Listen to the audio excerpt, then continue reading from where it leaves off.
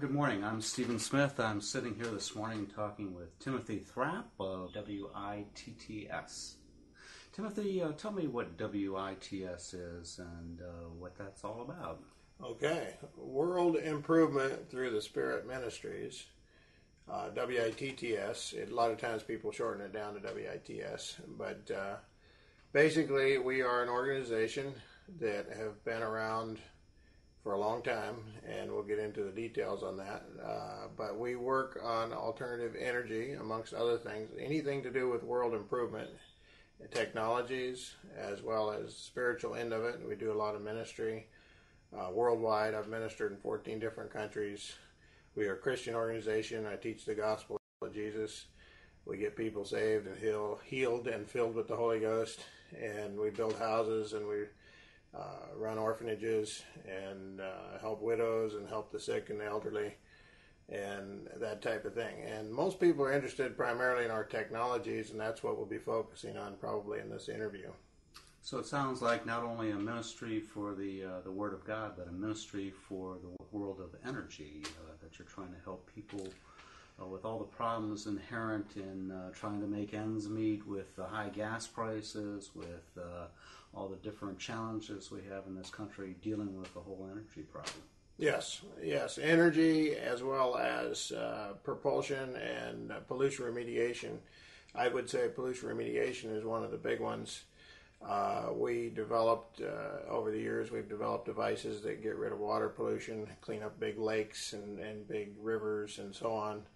Uh, our technology was sold, one of the technologies was sold in the early 1990s to a organization in Europe, and it went on to clean up the Rhine River.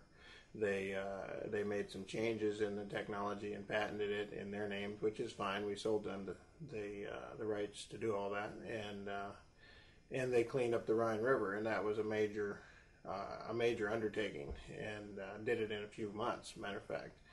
And basically, our tech, our pollution remediation technology is extremely effective for ponds and lakes and, and rivers and even oceans. And uh, we also have technology for pollution cleanup for the air and for landfills. The uh, landfill technology, just to show you how amazing that is, uh, it could be built where you could dump a whole dump truck load of garbage in, and including rocks and dirt and anything else, and you seal it off where there's no air coming in at all. And uh, when you're done, a whole dump truck load would be uh, a little bit of dust in the bottom. It would fit in the palm of your hand, and uh, it would be basically diamond dust, high carbon.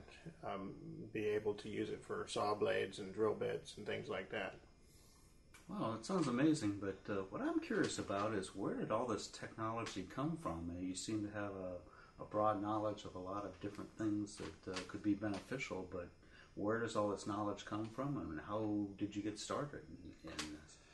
Well, God is the giver of every good gift. The scripture says that the man of God should be found to be fully competent and completely equipped for every good work. Our team of experts uh, I started in this 21 years ago. My first uh, partner was a MIT graduate, a, a doctorate in uh, electrical engineering, and we set out to solve the world's problems, including uh, energy. Now, before that, we were working on uh, health, and actually, the first lab uh, we built when I was about 21. And even before that, we were doing experiments. I was doing experiments and a few people that worked with me were doing experiments and tests and and uh, so on in this field in this regard all the way back. Uh, uh, I would say I started when I was about five, doing uh, tests on different energy systems, building them, and and so on. And I've been self-employed also since I was about five.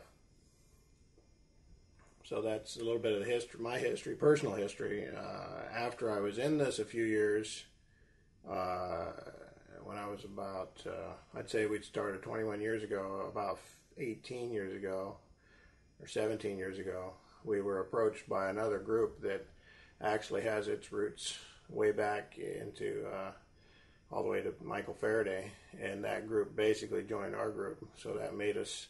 We have about 12 scientists. It's gone up as many as 15, and is down as few as uh, eight, back and forth over the years. But right now we have about 12.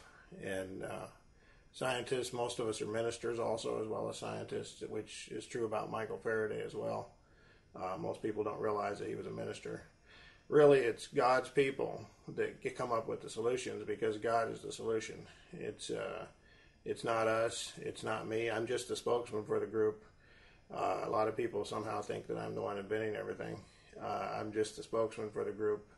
Uh, I have worked hard at this, but it's it's God's blessing that brings results, and it's God's blessing that brings solutions, and God's wisdom as well. If you read the book of Daniel, you get that clearly. Daniel was one of the wisest men that ever lived, and all his wisdom came from God. You see it over and over again, where he needed a solution, and he sought the Lord, and the Lord gave it to him. And it's basically the same thing here. What is the direction you see God moving you in uh, with the, uh, the task He's given you to perform here on earth?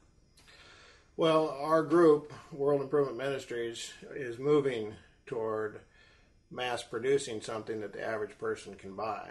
And that's the intent of this website as well as this. Uh, we are currently in a fundraising stage. We, for many years, we didn't ask for any donations at all, and just about three or four months ago, it became clear to us that uh, it's the world's uh, it's the world that's going to benefit. The world needs to help. When I say the world, I would say the people of God are the ones that are called to help.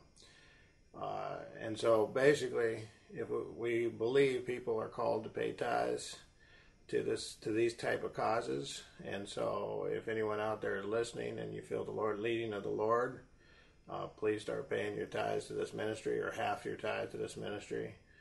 And the plan is if we could just get even as few as 300 people paying their tithes, we'll have enough to build a factory and uh, start mass producing. And these devices, once they're sold, we don't need any more money at that point. Once they're, once we start the sales, uh, we'll have enough money coming in from the sales at that point. And so this is as little as a year or two years away if people get on the on the stick and start helping. Uh, people get busy and start helping it's uh, it is a team effort. It's not going to be done by one person. It needs everybody to get involved. And so God is calling people out there, and it's up to each one of us to pray about it and see what God's speaking to your heart, and uh, see what He'd have you do. If people work together, this is totally doable. Are there certain samples or certain experiments that you've done to kind of prove this technology, or something people that uh, could take a look at to see some practical applications of how this might work? Well, there's a number of videos on the website, and we'll be adding more as time goes on. Uh, right now, you can see uh, 900 watts of electricity lighting up light bulbs. There's also uh, additional 400 watts going back to the electric motor, so it's 1300 watts altogether. And that's one of the devices you can look at. We have had that particular device doing 40 kW already, 40 kilowatts of power and uh, we've had other devices doing as much as 2 million watts. Um, obviously, you don't need, I said 2 million, I meant to say 20 million watts. We've had, uh, the, that's the highest we've ever done in any test is 20 million of our own personal stuff. But we, although we've helped engineer uh, top secret projects that are in excess of 20 million. Uh, so that's been going on for quite a while. There are, there are projects that I shouldn't be saying too much about, but there are projects out there that are very large, and it would stagger the imagination to know exactly what's going on on this planet. Most people haven't got a clue. What technologies are you endeavoring to present to the world at this point? Um,